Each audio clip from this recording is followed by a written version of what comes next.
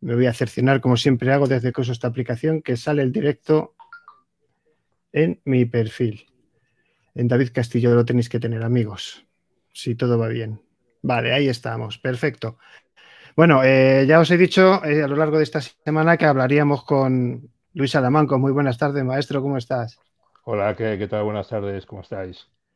Bueno, queríamos eh, acercaros un poquito, pues, el punto de vista que tiene un perito forense de, toda esta situación que estamos viviendo y un poquito la realidad que vamos a ver si somos capaces de que no nos bloqueen el vídeo o empiecen a fallar místicamente cosas, porque, como bien sabéis, eh, parece ser que si dices algo raro o hablas algo que no vaya acorde con el tema del gobierno, bueno, pues parece ser que esa censura se está haciendo efectiva.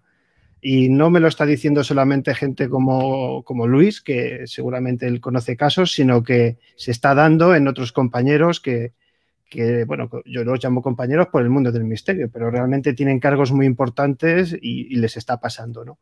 Pero bueno, eh, lo primero, eh, primera parte, un poquito de COVID-19 y segunda parte hablaremos de una investigación que hizo Luis en colaboración con eh, un laboratorio en Penor sobre el tema de Diana de Gales que os va a encantar. Y lo vamos a hacer pues para distraernos todos un poco en este enclaustramiento en el que estamos metidos todos, ¿no? Pero bueno, en realidad del COVID-19, todos sabéis que hace dos meses yo en mi caso hacía un primer directo en el que yo decía a Luis que mm, nos íbamos a ir de tres a seis semanas, ¿no? Yo era lo que decía antes de que dieran los primeros 15 días, porque ya sabíamos a dónde íbamos, evidentemente, esto, esto no es el más listo que los demás, simplemente que se veía venir y yo hablaba de tres a seis semanas.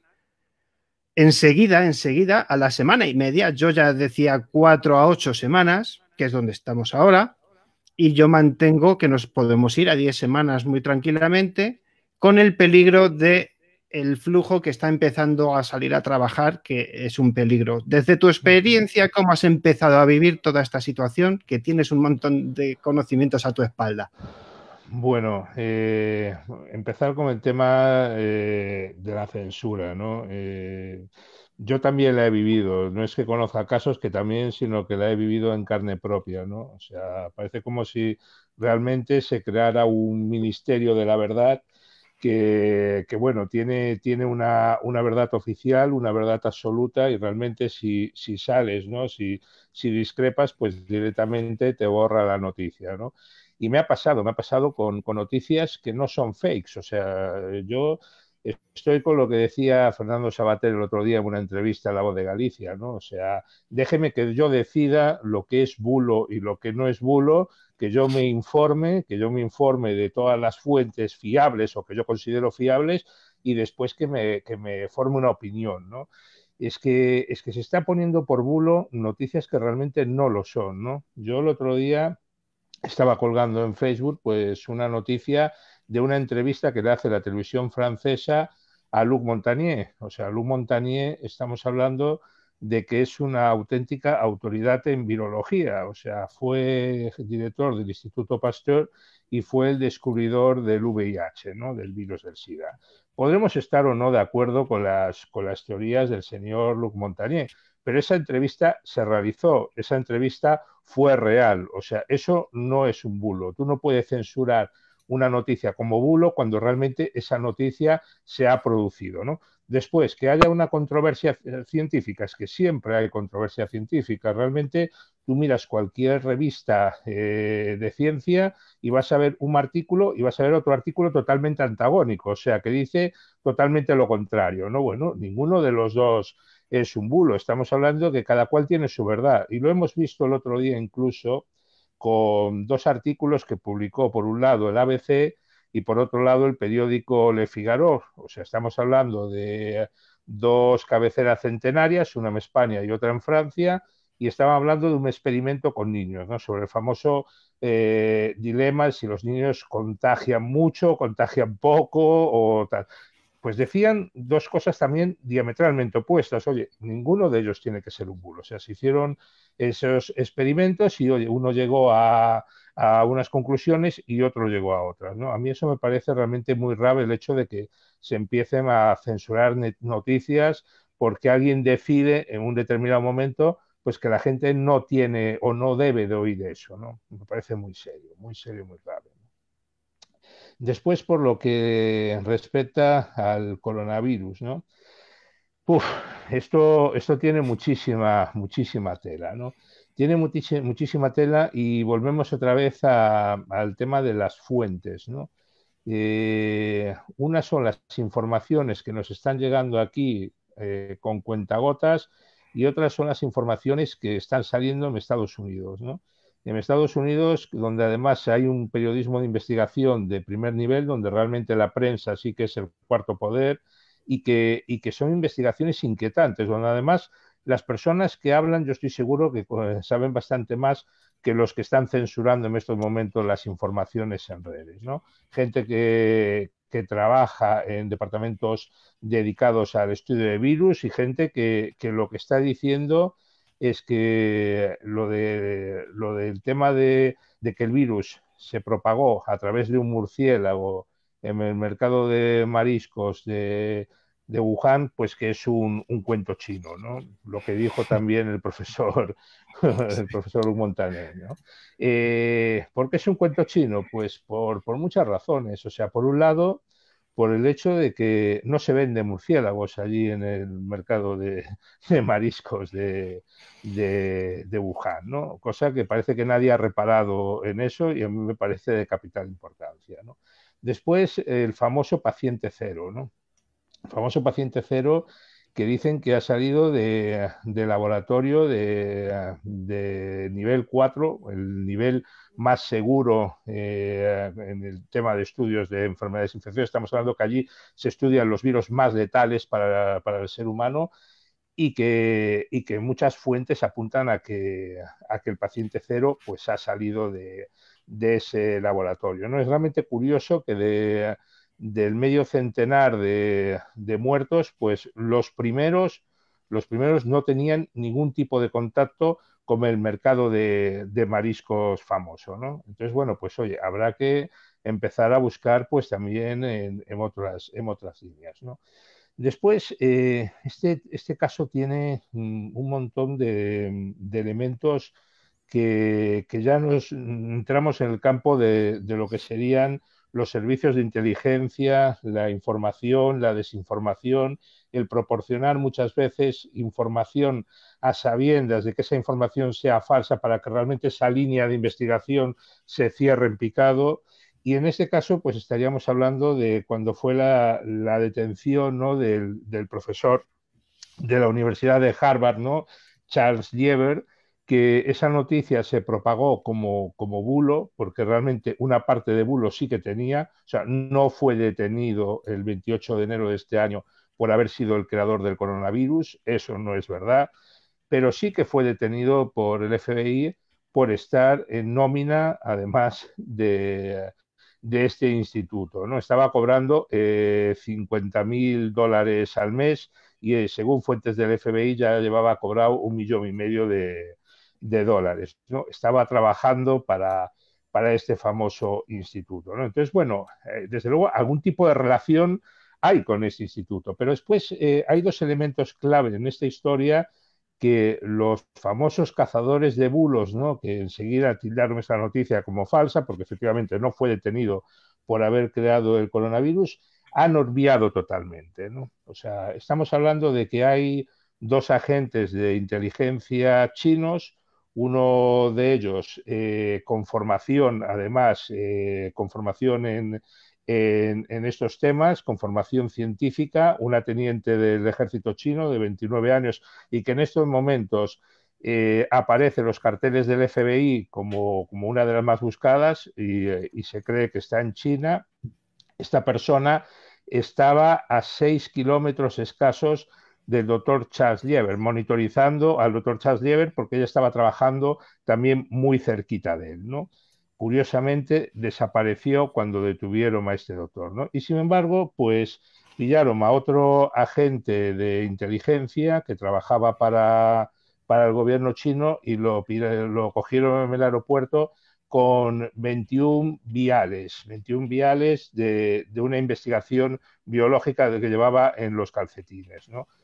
Es realmente significativa, son realmente significativas estas dos detenciones que se han olvidado pues absolutamente.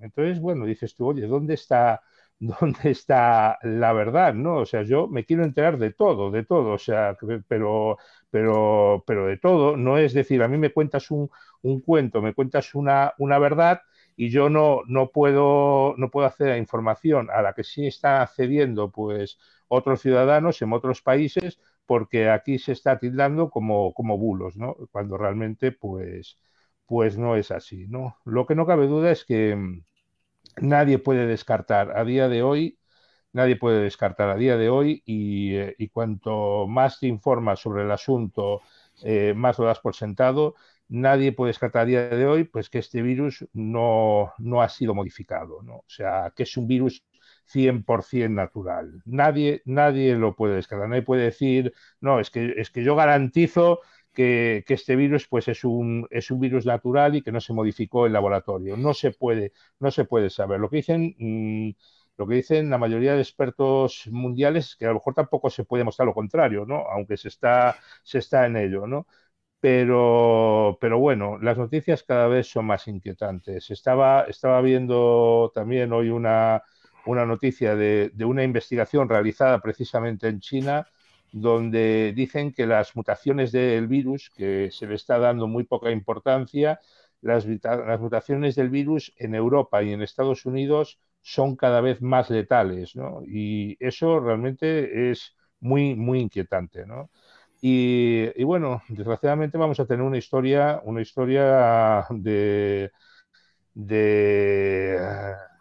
de investigación, de investigación científica, pero también eh, nosotros tenemos que, que poner eh, nuestra parte de seguir investigando eh, todas las fuentes, evidentemente fuentes, fuentes que, que, tengan, que tengan rigor, obviamente, pero bueno, fuentes que tengan rigor estamos hablando de que, de que muchas, muchas revistas, como de Lancet, muchas revistas, pues, pues que, que son revistas de, de, primer nivel, o sea, revistas de referencia a nivel, a nivel científico, pues, pues ya advertían de cierto tipo de, de cosas ¿no? a finales del año pasado. Lo que es evidente, lo que es evidente es que se ha tardado muchísimo por parte de China hay misteriosas desapariciones de, de personas que, que, en un determinado momento pues, pues estaban allí investigando y, y que desaparecieron. Por ejemplo, la, la, directora de este laboratorio,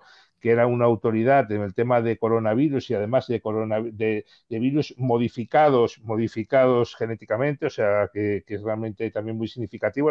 Esas publicaciones han desaparecido, han desaparecido, al igual que ha desaparecido ella también y también la, directora del hospital de, de, de, uno de los hospitales de, allí de, de, la ciudad de Wuhan. ¿no? Entonces, eh, claro, es, es, todo, es todo muy extraño. Realmente nos, nos encontramos en una, en una dinámica donde eh, la gente que, que, solemos tener una memoria frágil en, en estas cosas, no nos acordamos que, que, hace dos años Estados Unidos y China empezó una guerra comercial brutal, ¿no? Una guerra comercial brutal que el año pasado eh, tuvo su cenit cuando Google pues capó los servicios de, de a, Huawei, o sea, todos los servicios de, de Google Play pues ya no se pueden instalar en los, en los nuevos dispositivos chinos, ¿no? Estamos hablando de que eso ya fue un punto de inflexión, ¿no? O sea que, claro, evidentemente, pues obliga, obliga a, a los chinos pues a, a replantearse sus, sus, propias apps, ¿no? Eh, esa guerra, dices tú, caramba, es que, es que las casualidades ¿no? de, que, de que esto suceda, esa guerra económica, y después empiezas a, a mirar y empiezas a, a ver un poco la mentalidad de la, de la guerra sin restricciones, la guerra irrestricta o la guerra asimétrica, eh, que, que, hace unos años también, hace, hace, hace poco más de, una década, eh, empezó, empezaron a, sonar dentro de, de altos militares chinos, dos coroneles chinos que escribieron un libro precisamente sobre eso, y dices tú, bueno, oye, pues lo que no cabe duda es que de esto va a salir un ganador, ¿no? Y lo que decían, lo que decían un poco eh, siempre en criminalística, lo que hay que mirar es a quién beneficia el crimen, ¿no? Lo que tenemos que ver es, eh, cuando acabe toda esta historia, pues quién ha sido el gran beneficiado, a quién ha beneficiado y quiénes han sido los perdedores, ¿no? Lo que no cabe duda es que a día de hoy todo el suministro sanitario viene de un solo país. O sea, hay un país que es el que está fabricando las mascarillas, que es el que está fabricando los respiradores y que es el que está acudiendo absolutamente todo el mundo, ¿no? Bueno, pues, pues, pues bueno, eh, desde luego no le está yendo muy mal con, todo esto. Veremos qué pasa. Hay otro país como, como Estados Unidos y, eh, y bueno, países como como evidentemente como sus aliados ¿no? del, Golfo, que en estos momentos, eh, ayer me parece que el barril de, petróleo estaba a un dólar, ¿no? Ahora, ahora creo que tienen que pagar incluso para que se lo lleven, ¿no? Entonces, bueno, pues, pues veremos cómo acaba, cómo acaba esta historia y, bueno, pues pues estaremos expectantes, ¿no? Si nos lo dejan contar, obviamente. Dicen que a río revuelto, ¿no? Ganancia de pescadores, como en todas las guerras, y esta lo es, eh, doctor Carballo lo dejó muy claro, esto es una guerra y, está así. Creo que va a haber muchos intereses, ¿no? Y, este va a ser uno de ellos. Ahora seguramente nos dirán que el gasoil es bueno otra vez, que se vuelvan a comprar coches, pero para eso se tiene que reactivar el trabajo. Yo me estaba haciendo un pequeño esquema según hablabas, porque claro, cuando a ti te encargan bueno, eh, vamos a decir a la gente, para quien no conozca a Luis Salamancos, que me lo había preparado yo por aquí, lo voy a hacer en plan breve porque si alguien tiene un currículum sencillamente espectacular, ese es nuestro invitado de hoy. Pero para que veáis un poquito, es director jefe de estudios e investigaciones forenses en INCA, Instituto de Criminalística, profesor asociado en la Universidad UDIMA, director de la Cátedra de Criminalística y Ciencias Policiales en la Universidad Libercoar, caballero en Orden del Camino de Santiago, muy importante, eh, académico en Academia Internacional de Ciencias, Tecnología, Educación y Humanidades, consejero en Consejo General de las Reales Academias e Institutos de España, eh, Academia Diplomacia, CCLP Worldwide, comendador en Imperial Orden Hispánica de Carlos V. Bueno, o sea, tiene un currículum brutal. Perito judicial en juzgados y tribunales en gabinete pericial Impeval, que es el laboratorio de nuestro querido Luis. Eh, director de seguridad, jefe de seguridad y detective privado, igual en Impeval. Ha estudiado pericia caligráfica y documentos, copia en la Universidad Autónoma de Barcelona. Eh, bueno, un sinfín que podéis consultar, chicos, en vuestro eh, Facebook, que él lo tiene puesto ahí. O sea, es brutal. ¿Por qué digo esto? En una investigación, Luis, cuando a ti te llama cualquier eh, institución que diga, oye Luis, tenemos este problema, necesitamos que hagas una investigación y nos aportes pruebas en esta o en dirección a ver si es esto o es lo otro. Eh, aquí tenemos geopolítica, tenemos militares implicados, médicos desaparecidos. Ojo, tenemos un aumento de la inversión americana y china en, la India, sobre todo en investigación aeroespacial, que ya se nos ha olvidado, pero es que hay miles de millones ahí metidos. Mm, tenemos eh, muchas discrepancias entre lo que dice el gobierno chino y sus números y esas desapariciones de esos youtubers, por ejemplo, que, oye, que estaban diciendo esto está pasando en China. Si yo te encargo como una institución Da igual el dinero, lo que cueste. Luis, tienes un talón en blanco. ¿Tú te atreverías a afrontar una investigación? Porque, ojo, aquí estaríamos hablando como pasó eh, en la guerra del Golfo contra Estados Unidos. Estaríamos hablando de que pondrías, yo creo que en peligro hasta tu propia seguridad como investigador. ¿Tú aceptarías un caso así?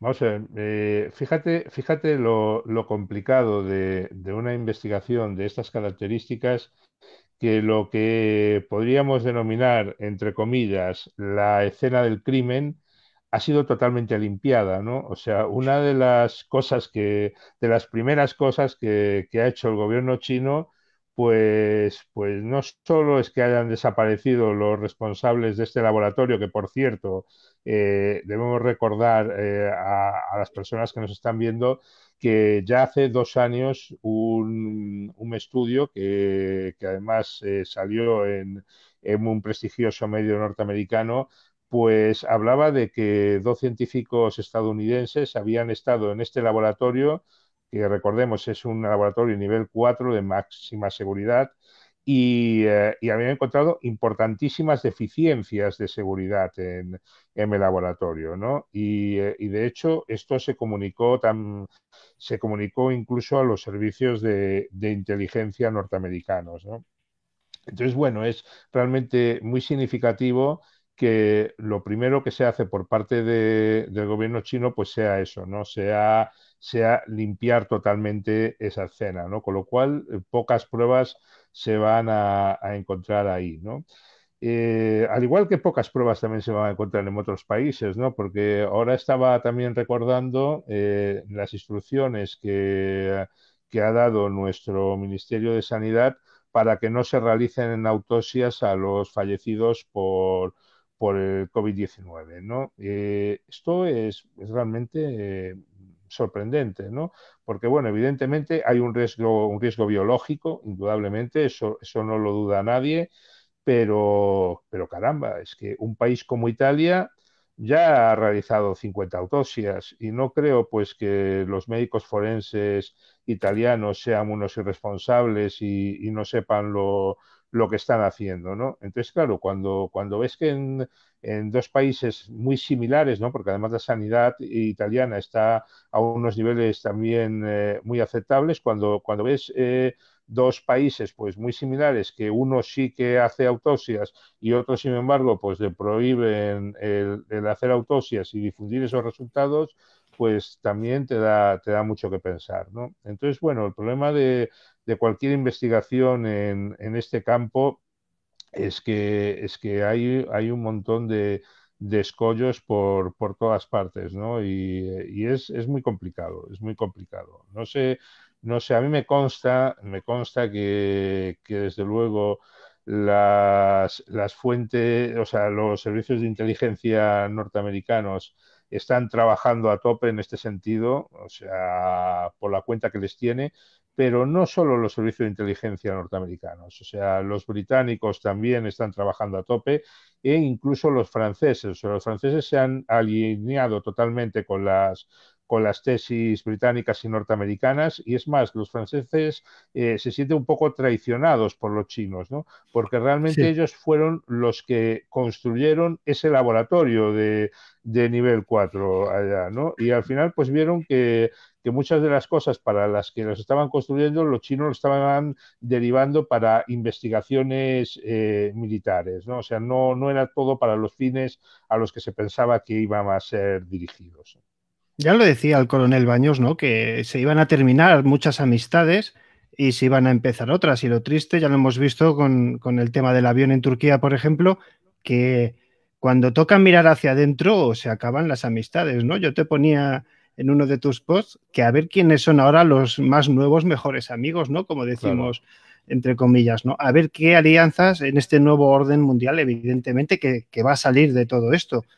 España yo creo que es un país enorme con, grandes posibilidades, pero me da cosa decir esto. Yo sé que tú apoyas mucho a los servicios, a los fuerzas y cuerpos de seguridad del Estado. Yo también los respeto, los admiro mucho desde pequeñito.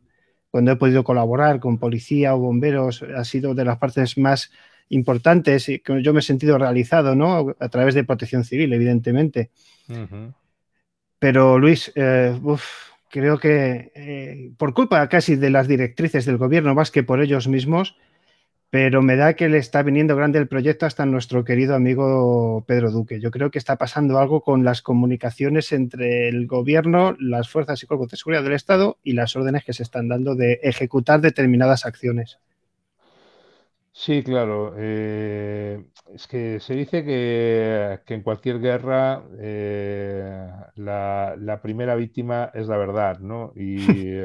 Y, claro, desgraciadamente, pues, pues sí, o sea, estamos, estamos viviendo un, tipo de guerra que se está llevando a, mucha gente por delante. Hoy, hoy me enteraba también de, de la muerte por coronavirus de José María Calleja, un periodista eh, valiente, honesto, comprometido, una persona pues que, fue amenazada reiteradamente por la banda terrorista ETA y que, bueno, eh, nunca se cayó. Nunca, nunca consiguieron callarlo, sin embargo, pues este maldito virus pues se lo ha llevado por delante.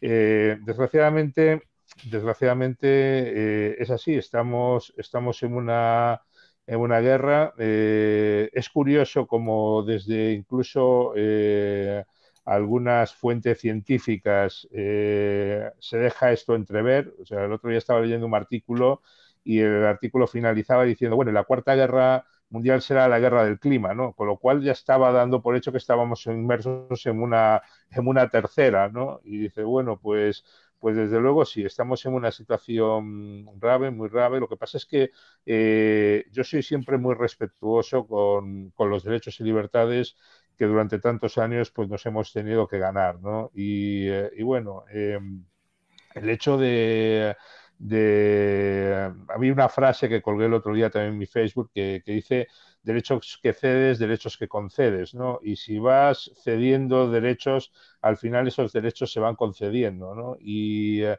y eso tampoco lo, lo podemos permitir, ¿no? O sea, yo creo que no nos no, no podemos permitir el hecho de que se nos prohíba opinar libremente, de que se, nos censure eh, de manera sistemática y, eh, bueno, eh, ¿qué es lo próximo? ¿no? ¿Qué, vendrá? ¿no? O sea, que se nos dé un bono de buen ciudadano y, que se nos vayan quitando puntos si realmente salimos de la línea ¿no? del, del pensamiento único, ¿no? Y al final, pues acabaremos creando, pues, pues una, un ejército de, de, autómatas, ¿no? Se dice que cuando todo el mundo piensa igual es que ninguno piensa demasiado, ¿no? Entonces, a mí lo que realmente me gusta es que haya diversidad de, opiniones, que la gente pueda, pueda debatir, que, que, oye, eh, es que el otro día me comentaba uno, bueno, ya sí, pero es que eh, eso es como, como darle pie a, los que opinan que la Tierra es plana. Digo yo, bueno, oye, pero,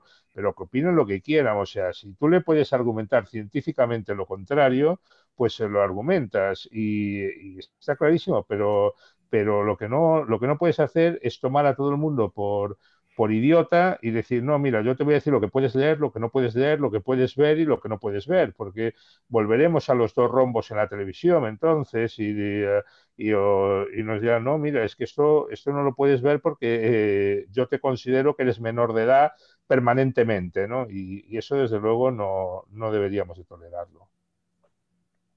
Dentro de tu amplio conocimiento en leyes, en normas a seguir, porque hay que decir que cuando tú trabajas en un caso no valen las medias tintas. En esto quiero decir que para demostrar, por ejemplo, la libertad o, la culpabilidad ¿no? De, una persona, tienes que trabajar muchísimo, muchísimo, muchísimo, muchísimo, porque depende de, tu trabajo la libertad o no de una persona. O sea, yo creo que no hay nada más serio en la vida a día de hoy, quitando, por ejemplo, salvar una vida en un, en un, en un hospital. Eh, camiones que se están llevando a, otras provincias, el seguimiento que se está haciendo de los fallecidos eh, por parte de familiares a gobierno, o sea, toda una serie de cosas que se están dando que yo me he puesto el cuello a que tú jamás habrías pensado con el nivel que hay en España que se fueran a dar. ¿Qué opinión te merece esta sucesión de eh, errores o cagadas una tras otra? Porque vale, yo entiendo que no tenemos Madrid, por ejemplo, capacidad para estos miles de muertos que dicen 20.000. Yo estoy seguro que ya vamos por los 30, pero en cualquier caso, eh, ¿se puede hacer tan mal? Quiero decir, eh, fallece una, abuelita, un abuelito en una residencia, em, con una llamada ya está, pero tú no sabes si ha ido, no ha ido, dónde está, dónde la van a incinerar, eh, si, lo que te van a dar es tu familiar o es otro, o sea, una serie de, casos y de errores. Esto es España, Luis. Sí, se está, se está, eh, decían los, los israelíes, ¿no? Que, hace 10 años, ¿no? Que estuve haciendo allí algunos cursos con ellos y decían los israelíes que que admiraba mucho la improvisación que teníamos nosotros, ¿no? Lo que pasa es que esto creo que es llevando al extremo ya, ¿no? Eh, lo de improvisar, ¿no? Yo creo que no se puede estar improvisando continuamente, ¿no? Una de las cosas que, que se ha dicho mucho en, esta crisis es que, bueno, a todo lo pasado, pues todos, todos tenemos soluciones, ¿no? Y, eh, y, yo en eso sí, efectivamente, estoy de acuerdo que, claro, la realidad la ves de otra manera cuando van pasando las cosas. Eso no lo pone nadie en duda pero es que eso pasa en cualquier crisis. Quiero decir, cuando realmente eh, un gestor, o sea, alguien que, le estamos pagando el sueldo todos, demuestra lo que vale es en, las crisis. Eh, sucedió con crisis que desde luego eh, no llegaron a esta dimensión sea, sucedió con la crisis, por ejemplo, del, del ébola, se criticó lo mal que se hicieron muchas cosas y yo estoy de acuerdo en que se critique. Yo estoy de acuerdo. Cuando las cosas se hacen, se hacen mal, evidentemente hay que criticarlas, ¿no? Y, eh, y, en este caso, pues estamos viviendo una situación donde las cosas, pues, pues están haciendo profundamente mal. O sea, hoy estaba saliendo un estudio australiano, mirar lo lejos que, que nos queda Australia, ¿no? Y, eh, y bueno, eh, Australia, España le sonará pues a algún español que viva allá, pero, pero nada más. ¿no? Y a todos. Y, decía que estábamos en el país número 50, ¿no? Dentro de lo que era eh, la, gestión de la crisis. estamos entre los peores, los que peor están gestionando eh, esta crisis, ¿no? y estamos, obviamente, también porque el populismo es así y un personaje como Trump, pues, pues eso, eso le da evidentemente unos titulares muy fáciles, pero estamos en boca de Estados Unidos todos los días, ¿no? Sobre lo mal que se está eh, gestionando la crisis española, pero, pero estamos en boca de Estados Unidos porque es muy fácil extraer datos, es muy fácil, ¿no? Extraer datos de, de lo mal que se está gestionando esta crisis. A mí, a mí no me caben en la cabeza eh, eso, tanta, tanta improvisación eh, no me cabe en la cabeza que se den directrices a las fuerzas de seguridad del Estado pues para actuar eh, frente a opiniones disidentes. O sea, yo creo que, estamos hablando de, cosas realmente muy, muy serias, ¿no? Y, eh, bueno, veremos, veremos qué, pasa dentro de, unas semanas. Esperemos que, la vuelta a la normalidad eh, gradual, pues, pues, pues bueno, no suponga eh, un repunte de, fallecidos por, por, el COVID, porque eso también, eso también es, algo, es algo muy serio. Y, lo, que, lo que sí está claro es que, es que un país como el nuestro, que, depende en grandísima medida del turismo y la hostelería, el hecho de que de que los hoteles y, los, bares, los restaurantes, pues permanezcan cerrados sin edie, eh, estamos hablando de que, de que va a ser una pérdida muy, muy importante. Veremos cómo, cómo vendrá la recuperación, que esa va a ser otra. Va a ser, va a ser duro. Bueno, yo saludar a Guillermo, a Mónica, a MERS Asociados, a todos los que andáis por aquí. Hay un par de preguntas, eh, Luis, y bueno, las vamos a procurar contestar de una manera sencilla. Pero me las filtrarás primero, ¿no? sí, bueno, es, sencillo, ¿no? Eh, solo tema coronavirus y ya, pasamos al, otro tema que traíamos hoy. Bueno, en esto Guillermo me, me apuntaba, pero David, ¿quién puede decir quién tiene la razón? Y Mónica Figueira Romero nos dice, niños a la calle, bueno, ese es otro tema muy interesante. Entonces, mm. bueno, yo lo de quién tiene razón, no sé si a ti te parece, estarás de acuerdo. Yo creo que en esto, Guillermo, no es quien tenga la razón. Aquí es la información que tú consigas reunir y que tú puedas interpretar como real. Yo le ponía un ejemplo a, unos amigos y les decía, yo creo que en algún programa ya lo he dicho, coger un vídeo de cualquier miembro del gobierno, ¿vale? Que hable del COVID y del tema sanitario, si puede ser, ¿vale? Lo ponéis en una pantalla y le quitáis el sonido y cogéis a un médico de urgencias que está al pie del cañón hablando del COVID, que hay un montón de vídeos, y le quitáis el audio para solo mirarles a los ojos. Os los ponéis así de frente, ¿vale? Y vais a hallar la verdad en una sola mirada, ¿no? Entonces yo a eso me refería, ¿no? Yo creo que la verdad está en la información que tú consigas obtener de una manera posible, porque vivimos en la época de la desinformación. Y en cuanto a los niños a la calle, Luis, yo no sé qué te parece a ti lo de los niños. Lo de los niños em, todavía lo estoy digiriendo, ¿no? Porque ha salido, ha salido hoy, entonces, eh, bueno, el tramo de edades, ¿no? Que, que, primero era una edad, después a otra, eh, Ahora creo que está en los 14, me parece que es la. Sí, pero de 14 a 18 se ha, se ha, quedado un limbo, que eso no Sí, se ha quedado un limbo, con lo cual pues ya se supone que con más de 14 no tienes ganas de salir a la calle, ¿no? y, eh, y, bueno, pues, pues bueno. Eh, también me parece sorprendente el hecho de que tampoco vamos a poder pasear libremente, ¿no? Dicen, bueno, no, es que ahora lo que van a poder hacer pues es ir a, fuentes de contagio como son los supermercados o, como, como, son pues pues yo que sé, farmacias, eh, sí, podrán acompañar a los padres pues a estos sitios y después pues pues para casa, ¿no? Eh, claro, no, no me parece, no me parece muy, muy normal, ¿no? No me parece, no me parece muy normal. Hablando de supermercados y em, Aquí sí que me gustaría rendir un homenaje porque evidentemente eh, los sanitarios eh, están haciéndolo muy bien, eh, están cayendo muchos como, una, como una labor, son auténticos héroes. La policía, la Guardia Civil, el personal de, seguridad lo están haciendo muy bien. El otro día me decía un, un inspector en Madrid, ¿no? Me decía eh, mira Luis, es que yo esto, yo esto mm, va en mi sueldo, ¿no? O sea, a mí me pagan por hacer esto, ¿no?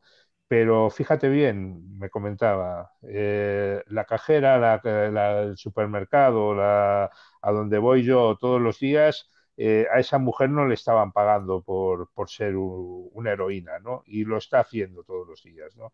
Entonces, toda esta gente que, que trabaja en supermercados, que trabaja en tiendas, los transportistas, que estamos hablando de que si no fuera por los, por los transportistas este país estaría parado, ¿no? Y que no tienen, no tienen ni siquiera pues un sitio donde comer, ¿no? Porque, claro, era gente que está en la carretera, que paraba en los restaurantes y, y esta es la gente, es la gente que, que está haciendo que el país que el país funcione con, con relativa normalidad. ¿no? Y, y, desde luego nos tendríamos que acordar mucho de ellos, como también tenemos que acordarnos de, de los más de 20.000 muertos. Tú decías que la cifra que era, que era bastante superior, también lo creo, yo creo que la cifra es bastante superior, pero que estamos hablando de que es gente que está, está siendo enterrada en unas condiciones de guerra, ¿no? O sea, gente pues que a su entierro pues no pueden ir más de tres personas. Estamos hablando de que el duelo para algunas familias es, es brutal, ¿no? Porque a la pérdida de un ser querido se une el hecho de que realmente no, no lo puedes despedir como tú querrías, ¿no? Eh, tienes que despedir pues unas condiciones que, que tampoco son, son normales, ¿no?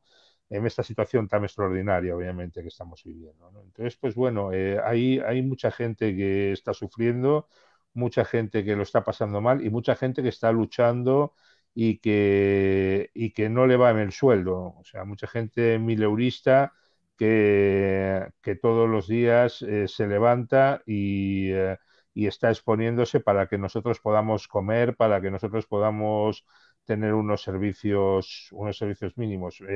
Antonio, que, lo conoces, eh, mi amigo farmacéutico y, que lleva el departamento de, toxicología de, de, INICA Impeval, pues, pues eh, está, está ahí al pie del cañón el hombre todos, todos los días, ¿no? Como muchos, como muchos compañeros, ¿no? Y, eh, y bueno, pues aquí en Galicia ya han muerto siete farmacéuticos, ¿no? Entonces, pues bueno, es gente que está prestando un, un servicio, pues, pues tremendo, ¿no?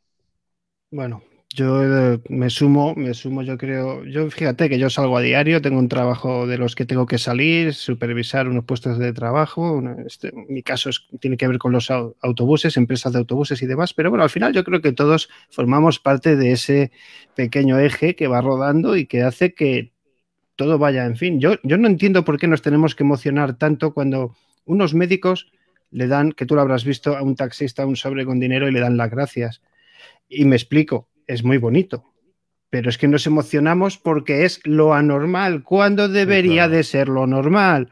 Claro. Es, muy triste. Bueno, chicos, vamos a pasar al otro tema. Dejamos. También está haciendo una labor. Sí, sí. todo aquel que suma, todos sumamos, todo, hasta el que se queda en casa, que yo lo decía desde el principio, el, primer, el primero que suma es el que se queda en casa. Eso está claro. Sin duda, sin duda. Pasamos de tema, dejamos un poquito el bicho, que nos va, nos va a traer mucha, mucho tema. Chicos, vamos a hablar del tema que, bueno, es, es, apasionante en cuanto a que es otro suceso que, que formó y que pasó a formar parte de la historia. Yo creo que todos estábamos enamorados de alguna manera, los de mi quinta, de, esta mujer, ¿no? Diana de Gales, eh, guapísima, no pintaba nada donde la metieron, la pobre mujer, nada. O sea, el que conozca un poco la historia de, de Diana lo sabe, que no pintaba absolutamente nada la pobre. Y, bueno, todo esto es consecuencia de quizás de, una serie de conspiraciones, de revueltas y de, de jaleos, ¿no? Entonces yo os voy a leer un poquito, si os parece, para recordar un poco eh, un artículo, por ejemplo, del país, La verdad sobre la muerte de Diana de Gales. Un pequeño resumen de las conclusiones y ya empezamos ahí a partir de ahí. ¿Por qué digo esto? Porque Luis ha hecho una investigación, como os decía al principio, junto con Impenor, eh, espectacular, además premiada porque del trabajo que hicieron. Bueno, la muerte de Diana de Gales. En un accidente de tráfico en París el 31 de agosto de 1997 desató una oleada de teorías conspirativas que llegaron a señalar directamente a la propia corona británica. Unas acusaciones espoleadas por Mohamed Al-Fayed, el millonario egipcio padre del novio de Lady Di, Dodi Al-Fayed, también fallecido esa misma noche. Las exhaustivas investigaciones oficiales realizadas tanto en Francia como en Reino Unido no lograron acallar los rumores que persisten 20 años después. Sin embargo, la conclusión, ambos lados del Canal de la Mancha, fue taxativa. Lady Di murió en un accidente de tráfico fortuito y no hubo conspiración para asesinar a ninguno de los ocupantes del vehículo.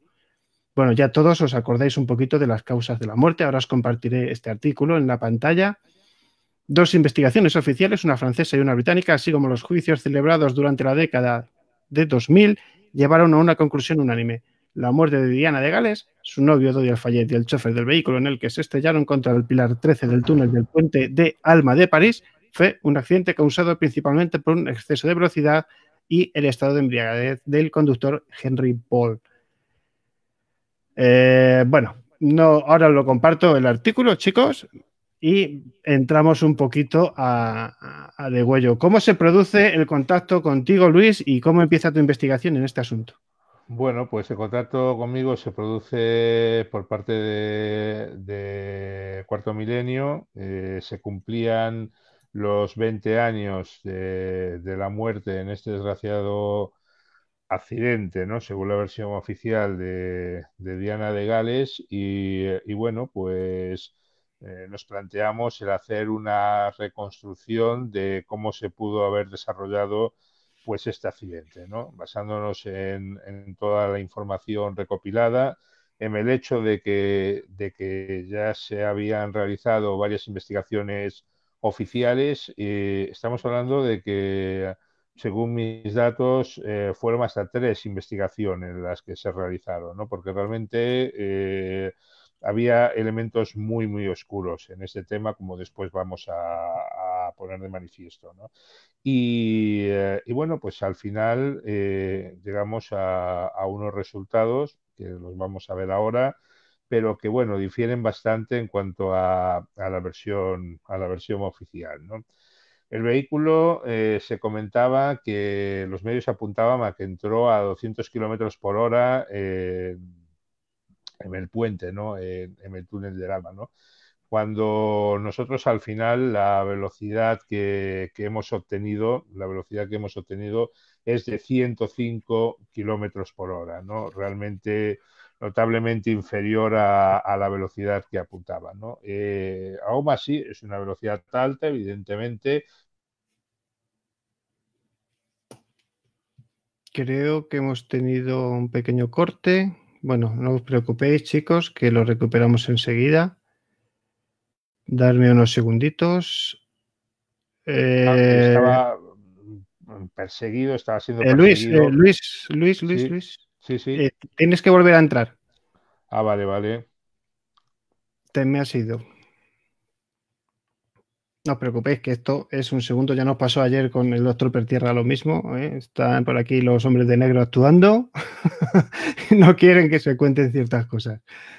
Ahora enseguida, mientras Luis vuelve a entrar, eh, bueno, pues recordamos un poquito que él estaba hablando de la velocidad. Yo en eso también estoy bastante de acuerdo, en que fue, fue una de las primeras mentiras. Bueno, ya tenemos aquí a Luis, mostramos en... A ver, es que aquí, vale, solo encendido. Ahora estamos los dos. Vale, eh, te me has quedado eh, a partir del 50% de reducción en la velocidad. 50% de reducción en la velocidad. Estoy eh, mirando ahora los datos, además de, del informe. el vehículo estaba siendo acosado por, por otras unidades de tráfico, que eran los paparazzi que salieron persiguiendo al al Mercedes, donde, donde no solo iba el, el, conductor, que era el jefe de seguridad del Hotel Ritz eh, y que falleció, sino el escolta. O sea, había un, un escolta que había pertenecido a, a las fuerzas especiales del ejército británico y que actuaba también de, de guardaespaldas de la pareja. ¿no? Lo, que se apuntó fue a un, a un exceso de, alcohol. Eh, decían pues que el conductor pues que iba ebrio. Es realmente muy significativo eso, ¿no? Porque dices tú, caramba, eh, iba ebrio, eh, conduce seis kilómetros y medio de noche, porque estábamos hablando de las doce y media de la noche, de noche, tuve, tiene que hacer varias curvas, tiene que que ir por, un itinerario complejo y, eh, y, después pues tiene el accidente en la, en la columna número 13, que fue cuando, cuando el coche pues, pues invistió contra esa columna y, murieron los ocupantes. ¿no?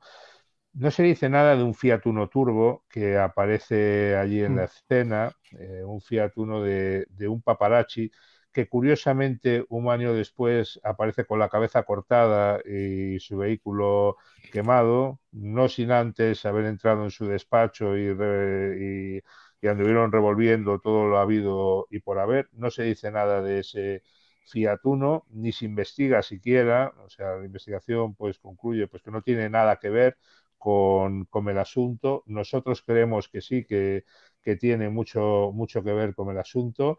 Y después también se habla de que, de que el director de seguridad del hotel, pues, pues tiene unos niveles en sangre eh, de alcohol que, mm, a ver, 1,75 mm, ramos litro, ¿no? Estamos hablando de que este hombre eh, con, con esta cantidad de alcohol en sangre difícilmente podría haber hecho las maniobras que, se realizaron, que eran maniobras además de índole evasiva, ¿no? O sea, tendría los reflejos muy mermados.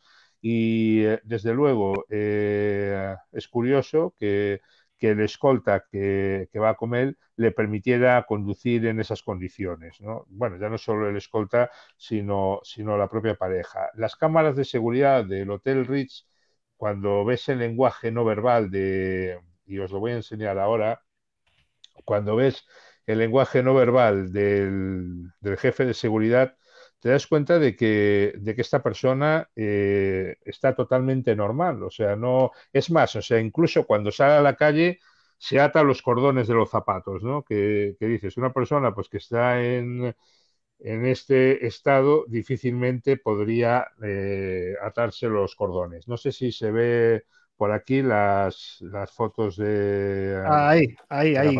Ahí se ve, ¿verdad? Sí, estas son las famosas fotografías que salieron justo a la salida. de seguridad, sí.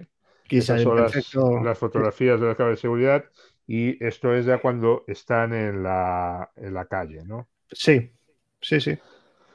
Esta persona, eh, aparte del alcohol en sangre que tiene, que curiosamente la bolsa con las pruebas desapareció y después volvió a aparecer y, eh, desde luego la cadena de custodia en este caso brilla totalmente por su ausencia, un elemento también a tener, a tener muy en cuenta, pues esta persona tiene eh, un 20,7% de nivel de monóxido de carbono en sangre, cosa realmente inexplicable, ¿no? Porque dices tú, o sea, es que un, fumador llega a tener un 4,2%, eh, incluso en fumadores compulsivos que, que fumen más de, de, dos o tres paquetes al día no llega al 9%, ¿cómo explicas que esta persona tenga un 20,7% de monóxido de carbono en sangre? ¿no? Es, es, algo que nadie le, le prestó la debida atención y, que realmente es inexplicable.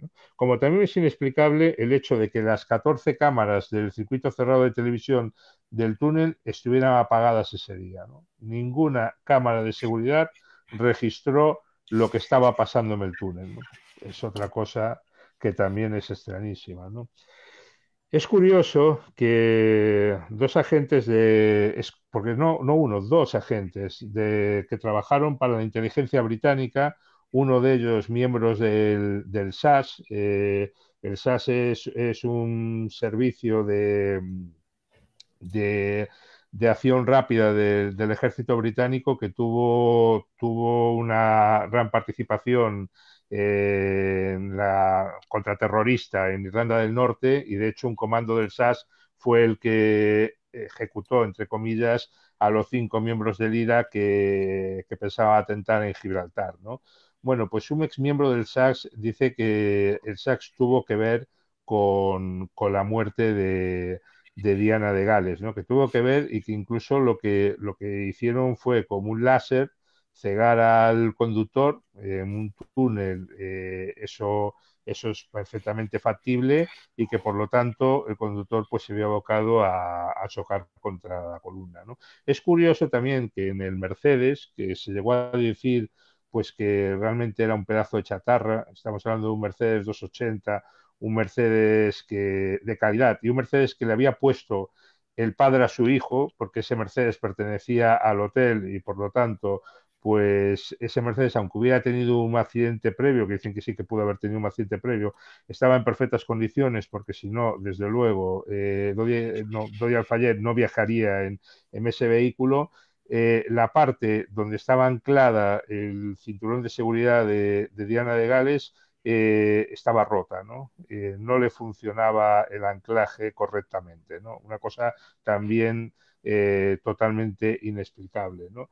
Pero es que es más, o sea, otro agente de inteligencia de, del Servicio Secreto Británico dice que ellos en su día habían estado eh, haciendo un trabajo de campo, o sea, un simulacro de cómo sería pues que Milosevic, el expresidente serbio, tuviera un accidente, cómo provocar un accidente de tráfico en ese túnel sí. a, al expresidente serbio, ¿no? Con lo cual, pues bueno, parece que ese túnel era propicio para ese tipo de cosas. Desde luego, con las 14 cámaras de circuito cerrado sin funcionar, más propicio, imposible, ¿no?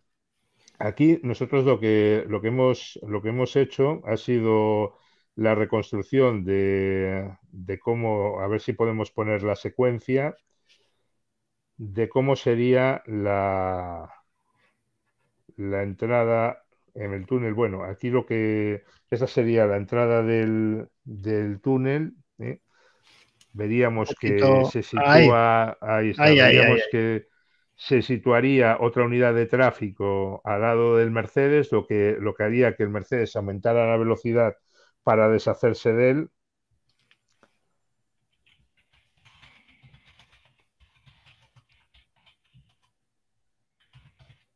Sí. Y después tendríamos en escena al, al Fiat Uno Turbo, ¿no? Aquí estaría. Ahí sí, estaría. además perfectamente ahí ubicado, estaría. o sea, no, no. Ahí estaría. El Fiat voy Uno Turbo. Que... Voy a compartir las fotografías, si te parece, que tengo sí, aquí yo sí, las fotografías amplias de todas las. Ah, perfecto. Aquí es cuando entran en colisión los dos vehículos. Hay un raspado lateral.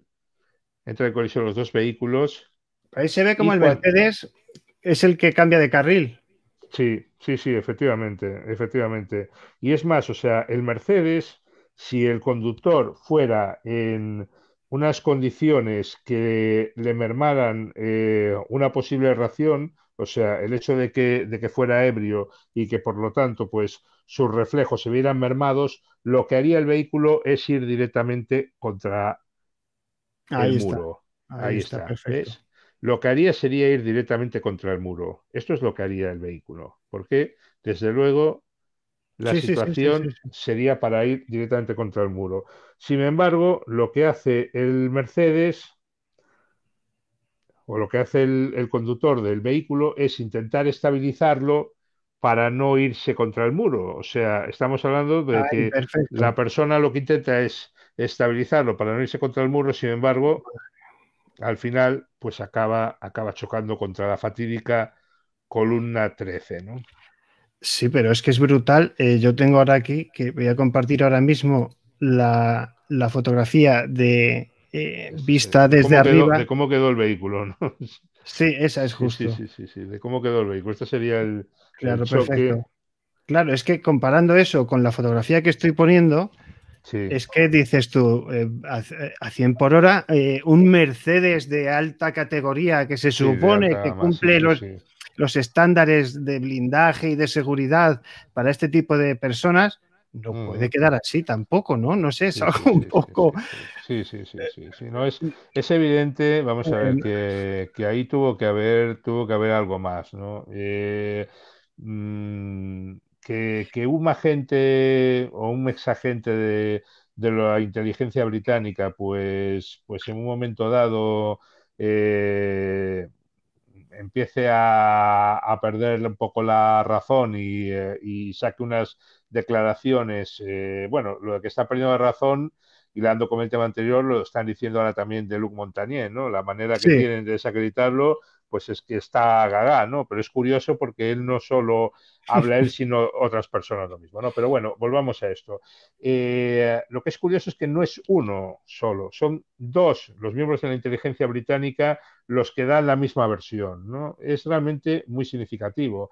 Y no debemos olvidar también otro tema relacionado con Diana de Gales. Eh, Diana de Gales eh, tuvo un affair amoroso con con un guardaespaldas, eh, con un miembro de, su seguridad. Eh, estamos hablando de, seguridad pública, o sea, seguridad pagada por el gobierno británico. Cuando, cuando se enteraron de, que tenían, de que tenían esa relación, este hombre fue eh, relevado inmediatamente de su puesto. ¿no? Lo relevaron de su puesto y esta persona, unos meses después, tiene un extrañísimo accidente que acaba con su vida, un, accidente rarísimo, una persona que, acababa casi de sacar el carnet de conducir y que tiene un accidente de esos que no debería de pasar nada, pero que sin embargo acaba con, su vida, ¿no? Entonces, bueno, parece que, todo el que realmente pues no debería de estar con la con, con Lady Di, con la, con la princesa de Gales, pues, pues acababa, acababa en trágica circunstancia. Pero Luis, que hay de ese posible embarazo, esa porque es que esto es muy curioso. Yo es que lo de los servicios de inteligencia a mí me tiene alucinado, porque se habla, entre comillas, de que hay muchos servicios de inteligencia implicados desde los israelitas hasta los polacos, que es lo de los polacos es alucinante, están en todos los fregados del mundo, los servicios de inteligencia polacos deben de ser la caña, o sea, hay un mare magnum de, trabajo en equipo para que este suceso termine en, un accidente. o sea, vamos a ver, no sé cómo lo CS, o sea, cuando las pruebas se juntan, se derrumba todo. O sea, los, nunca los polacos, los polacos tienen una historia muy, muy buena, ¿no? Porque, porque bueno, sí, sí, fíjate que, cuando fue la invasión alemana eh, de, Polonia, hay una, una imagen épica en la que se ve avanzar a los Panzer y cómo eh, los polacos lanzan su caballería con lanzas contra, contra los vehículos blindados, contra los Panzer, ¿no? Eh, dices, caramba, es una, es una imagen eh, de una mm, heroicidad extrema, ¿no?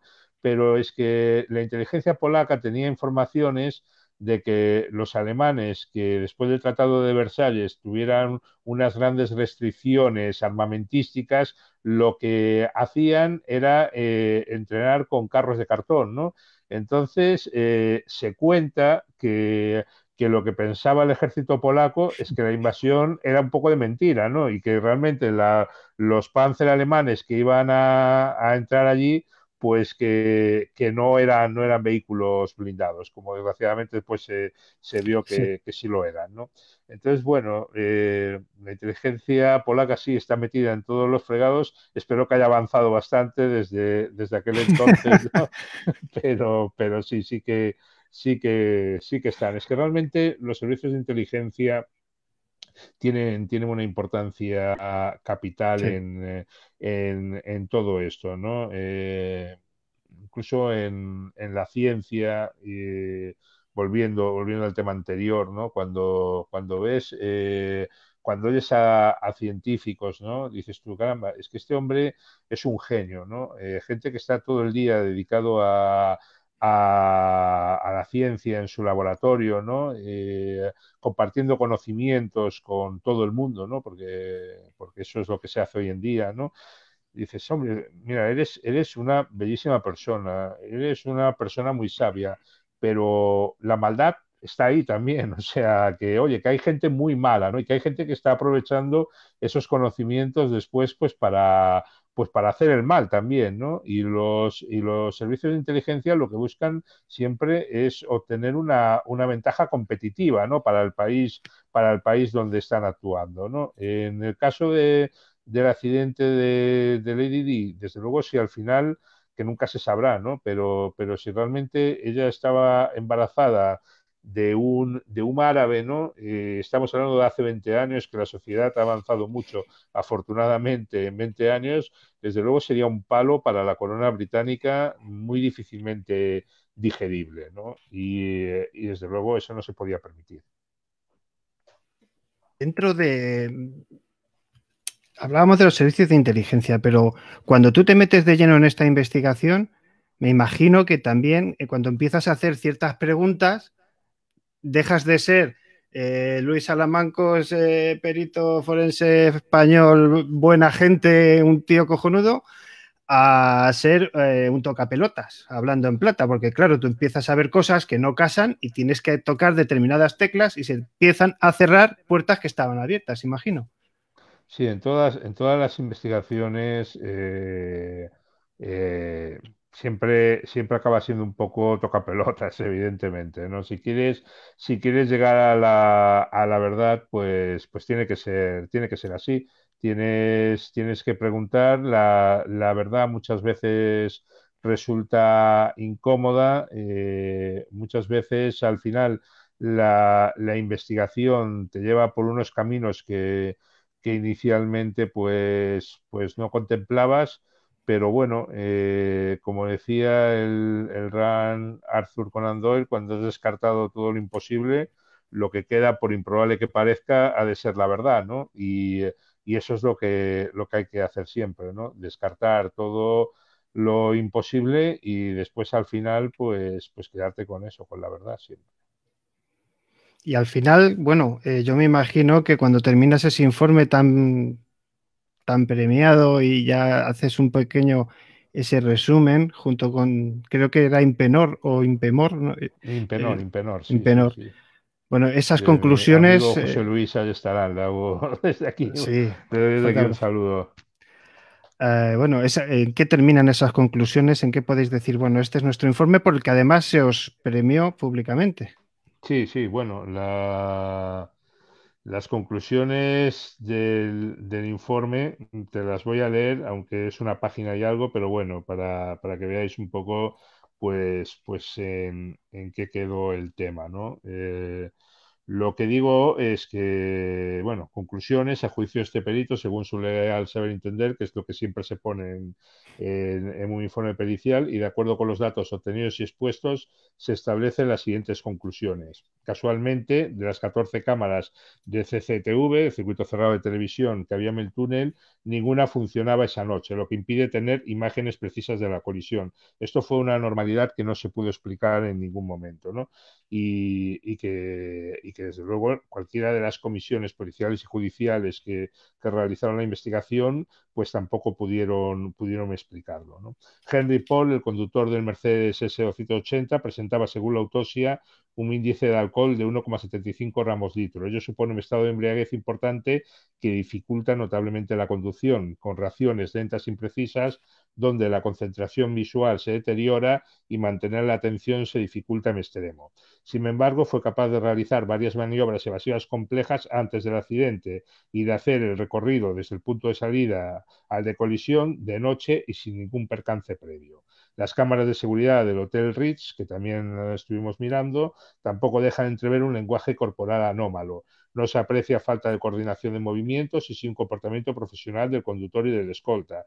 Incido en este caso en el hecho de que el propio conductor y jefe de seguridad del hotel se ata los cordones de los zapatos, con lo cual eso estamos hablando de que hace falta un ejercicio de coordinación.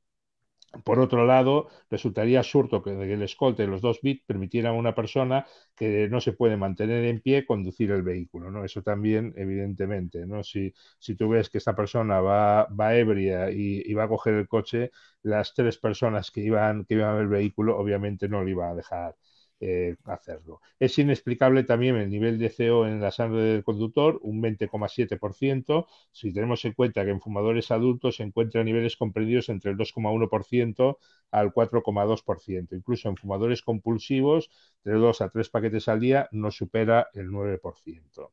El vehículo entra en el túnel a gran velocidad. Los medios apuntan a 200 km hora. Los datos reales que nosotros obtuvimos son notablemente menores, 105 km hora. La velocidad del vehículo viene determinada por el acoso al que lo someten otras unidades de tráfico, presuntamente conducidas por paparazzi, ¿no? que fueron los que estaban hostigando al vehículo. El accidente se produce como consecuencia de la colisión por raspado lateral con roce entre al menos dos unidades de tráfico. El Mercedes-Benz S 280 y un Fiat Uno Turbo que circulaba en el mismo sentido y obligaba al conductor del Mercedes a realizar una serie de maniobras evasivas que hacen que el vehículo choque contra un poste de la vía. Si el conductor se dejara ir contra el muro, reacción propia de una persona con los reflejos mermados, el impacto por roce hubiera sido menor. Entonces, ¿qué conclusiones llegamos? Que las conclusiones de la verdad oficial, o sea, de las comisiones de investigación, no se sostienen por ningún lado. Eh, al final es evidente que, este accidente mm, fue algo más que, un accidente. No, no se podría cerrar como accidente. Es una lástima que esta investigación se realizara 20 años después y que no lo hubiéramos podido hacer en su momento, ¿no? Porque evidentemente con el paso del tiempo, pues sí que se van borrando muchísimas pruebas, ¿no? Y desgraciadamente, pues, pues no se puede no se puede entrevistar a gente que, que, podrías entrevistar por aquel entonces y bueno, desde luego la investigación criminal se dificulta en extremo, ¿no? Pero que la verdad oficial, tal como nos la han contado, desde luego que no es así. Claro, entonces ahora llega esa parte en la que pues, los oyentes, nosotros, la gente de a pie que lee un periódico, que ve las noticias, que contrasta un poco todo y dice, vale, no estaba embarazada, sí, no, hubo problemas en el, en, digamos, en los testimonios del, de los miembros del hospital, con los de policía, con cómo se produjo además esa que de eso sí algo entiendo yo, que eso lo he hecho yo en varias ocasiones, ¿no? Esa escarcelación del vehículo, también hubo polémica con eso, con que ella podía estar viva durante un tiempo, luego sí, luego no. Eh, yo creo que incluso ella y el conductor, porque lo que estamos hablando es que esta cantidad tan notable de monóxido de carbono en sangre del conductor, esto era porque esta persona no estaba muerta, no murió de inmediato. Claro, cuando uno llega a esas conclusiones que dices, vale, eh, ¿cómo se... Realmente es que luego no se puede luchar contra una familia, contra unos poderes tan importantes como es la familia real. Eh, realmente son es tan intocables como parece. MERV Asociados nos pone aquí, ¿qué pasó con la investigación y las acusaciones del padre de Dodi Alfayet? Pues que no, no puedo llegar a, nada. O sea, eh, el hombre mm, hizo, hizo sus investigaciones por aquel entonces. No estábamos nosotros. si estuviéramos nosotros, a lo mejor sería distinto. Bueno, es, es, es broma, obviamente, ¿no? Pero, pero bueno, hizo, hizo sus investigaciones pero no, no pudo llegar a nada más, no, no pudo llegar a nada más. Pero se, le, eh, se le limitó, ¿no? Un poquito el acceso a un montón de... Obviamente, obviamente, claro que, claro que se limitó, se limitó muchísimo, muchísimo, ¿no? Con lo cual, pues claro, eh, el hombre pues tenía una gran frustración porque, claro, estaba convencido de que realmente no, no fue tal y como se dijo. Eh, los informes, eh, vuelvo a lo mismo, eh, sí que sirvieron, los informes que le encargó sí que sirvieron eh, para que hubiera más investigaciones oficiales, porque es evidente que había muchísimas irregularidades, pero al final, al final pues, pues prevaleció la verdad oficial y, y, se cerró el tema, a pesar de eso, de, de las cosas tan anormales como que uno de los de los principales implicados, como es el, conductor de este vehículo, del, Fiat Uno Turbo, pues, pues apareciera muerto en extrañísimas circunstancias, eh, de manera violenta un año después. Que claro, hay cosas, hay cosas que... Son los famosos suicidados, ¿no? Estos que se dicen o que los han ayudado. Efectivamente, mira, eh, me estaba acordando ahora del caso de Aloa Sterman y... Eh, y, su mujer Gladys, que, era el jefe de la, de la Guardia Suiza, ¿no? Era, era el jefe de la Guardia Suiza y, eh, fue un crimen extrañísimo que hubo en, el Vaticano y eh, cometido presuntamente pues, por un cabo de, esa, de, esa, guardia, de esa guardia. ¿no? Y, y, bueno, una persona que una persona normal, equilibrada, un chaval de 27 años, creo recordar. Y, eh, bueno, pues eh, lo que dijeron es que este hombre se había vuelto loco y había cogido su, su pistola Glock, porque bueno, eh, es evidente que la imagen que nosotros tenemos de la Guardia Suiza es la de los, los uniformes que diseñó Miguel Ángel, pero bueno, estamos hablando de que lleva la seguridad del Papa y, del Vaticano y que bueno, ellos están acostumbrados a manejar armas automáticas y bueno, pues, pues esta persona tenía en dotación pues una pistola Glock, ¿no? Y mató a su jefe y a la mujer. ¿no? Entonces, lo que dijeron es que se había vuelto loco, ¿no? pero como realmente eso no casaba por ningún lado, ¿no? porque era una persona muy, muy equilibrada, ¿no? Pues dijeron que había sido un arrebato premeditado de locura, ¿no? Y eso, eso, eso es curiosísimo, ¿no? Porque dices tú, caramba, un arrebato premeditado de locura, ¿no? Eh, es, es, es, para investigar también. arrebato premeditado. Sí. hablaremos, sí, arrebato premeditado de locura, efectivamente. Eso me recuerda a que el FBI, dentro de su gran amplio saber y hacer, tiene unos cuantos casos en los que uno se ha suicidado con tres tiros en la cabeza. Eh, eso, eso se puede hacer, Luis. Bueno, vamos a ver. Eh, las pistolas, las armas automáticas como arma automática, sí. O sea, estamos hablando de que mm, eh, las armas, las pistolas son armas semiautomáticas, ¿no? A menos que sea una pistola ametralladora, que entonces sí que dispara en ráfagas, ¿no? Si no, la pistola dispara tiro, tiro a tiro, ¿no? Y, y, como arma automática sí que se puede uno, pues, pues meter una ráfaga tranquilamente, ¿no? Pero sí que es cierto que, que el tema de los de los suicidios, pues, pues da para, da para mucho, da para mucho porque hay, hay casos realmente muy, muy extraños. Yo he visto varios, varios eh, que se han pegado un tiro en este caso, cuando yo me pongo a investigar asesinatos o voy a contar alguna historia, pues te tienes que meter y buscar, ¿no? Y claro, ves el recorrido que hace la cabeza con un solo tiro, cómo el cuerpo cae a plomo, o sea, dices, o sea, como este, aunque fuera incluso a ráfaga de 3, 2 a 4 balas, dices, e, es imposible eh, que, en el, que en el tiempo-espacio, eh, o sea, es que, es que no encaja nada. Bueno, lo vamos a ir dejando ya aquí, mis buenos amigos.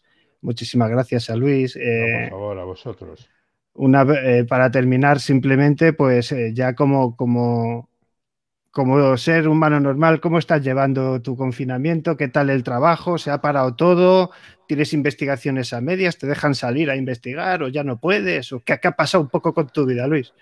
Uf, se ha parado, se ha parado todo. Eh, los juzgados están, están paralizados, excepto para, para temas urgentes, ¿no? Pero, pero bueno, las presentaciones que se hacen son telemáticas, pero los juicios veremos cuándo se reanudan normalmente. Mm, hay gente que dice, bueno, pues que, se podrían hacer por WhatsApp. Eh, desde luego, eh, un juicio es algo muy serio, ¿no? Y, empezar a, bajar la calidad, ¿no? De, en ese sentido de hacerlo ya por WhatsApp me parecería, me parecería absurdo, ¿no? Eh, sí que se, se lleva haciendo ya desde hace unos cuantos años por videoconferencia, pero estamos hablando de que la videoconferencia es totalmente distinto. O sea, tú estás en una sede judicial, se conecta con otra sede judicial, tú estás como un, como un funcionario al lado y, eh, bueno, pues, pues se sigue el protocolo, ¿no? Pero, pero ya por WhatsApp no, no requiere las condiciones de confidencialidad. Eh, necesarias en, un asunto. Una videollamada, todos sabemos que puede ser perfectamente interceptada y bueno, veríamos además también las cosas que podrían salir por ahí, ¿no? Entonces, bueno, eso eh, hay, que, hay que ser muy, muy respetuoso con, con los derechos de todo el mundo, ¿no? Y, no se puede trivializar algo tan serio como, como la justicia, ¿no? Y después de nada, aquí llevando el confinamiento por aquí con, los peques y, bueno, metiéndome mis dosis de clan, de Boeing, de, todos los canales infantiles y, bueno, pues nada, ahora los tenía trabajando ahí con los peluches y buscando coronavirus en los peluches y, así está, así está la cosa, ¿no? Pero bueno, bien, llevándolo lo mejor que se pueda y, bueno, pues procurando también eh, eh, leer mucho, ponerme al día de todo y, eh, bueno, a ver, a ver cómo, cómo volvemos a la normalidad. Bueno, pues qué deciros, mis buenos amigos, que eh, tendremos tiempo para hablar otro ratito con Luis, le vamos a dejar ya tranquilo. estamos viviendo una época muy complicada en la que va a haber muchos cambios, muchos cambios sociales, psicológicos, anímicos, a nivel geopolítico va a ser completamente distinto. Veremos qué pasa con los trabajos, veremos qué pasa con las empresas, veremos qué pasa con las pequeñas pymes que no van a poder retomar su actividad. En fin, creo que debemos de estar más unidos que nunca. De nuevo reitero mi gracias a Luis por estar, pues creo que hemos estado, fijaos, 76, 77 minutos. Estaremos otro ratito más adelante y seguiremos comentando algún caso seguramente de todos los muchos que tiene. Eh, darle recuerdos al compi, Antonio, que seguramente andará pues hasta arriba de trabajo. Lo, decía Luis antes, ¿no? Los farmacéuticos. Yo creo que todos sumamos y todos tenemos que estar ahí. Ánimo, fuerza y agarraos los machos porque tenemos que enfrentarnos a lo peor y lo peor no es ya quedarnos en casa y combatir el bicho, lo peor es remontar nuestra vida y recuperar la normalidad. Un abrazo fuerte, se os quiere mucho. Luis, muchísimas gracias por todo. Ánimo. Venga, a vosotros.